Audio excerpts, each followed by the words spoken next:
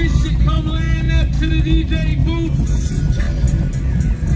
For those that's put that meter in there, come give me some information. I need to know who out here got the loudest sound so far.